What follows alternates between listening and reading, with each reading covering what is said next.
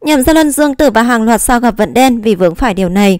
Những quy tắc mới dành cho diễn viên sắp được áp dụng, có gì mà khiến Nhậm Gia Luân, Dương Tử và hàng loạt sao khác rơi vào thế khó như vậy?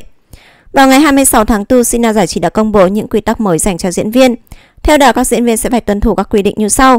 Thứ nhất, các diễn viên không được phép kiên nhiệm một lúc nhiều đoàn phim. Thứ hai, các diễn viên không được vượt quá tiêu chuẩn bình thường với nơi ăn ở, không được phép ăn và ở riêng bên ngoài hoặc đem người vào đoàn phim. Thứ ba, không được phép tiết lộ ra bên ngoài hình ảnh kịch bản tình trạng đoàn phim. Thứ tư, bồi đắp tổn thất nếu xảy ra vấn đề, tập trung diễn xuất và nâng cao trình độ diễn xuất, tận tâm kính nghiệp mới thực sự là việc đúng đắn.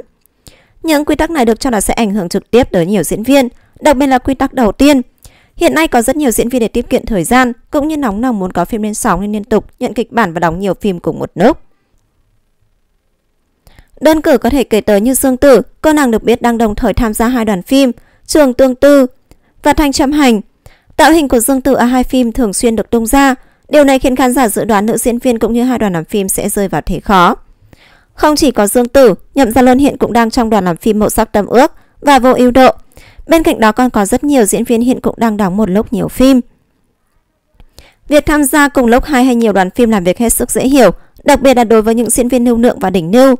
Việc hạn chế số lượng phim đóng cùng một lúc của diễn viên được cho là động thái nhằm nâng cao chất lượng tác phẩm, nhưng hạn chế sự phát triển của mỗi diễn viên. Do vậy khán giả vẫn có thể yên tâm vì những quy tắc trên sẽ bắt đầu được áp dụng từ ngày 26 tháng 4. Những hợp đồng đã ký kết trước ngày này hoàn toàn đủ điều kiện để quay tiếp mà không bị hủy bỏ hay rời lịch.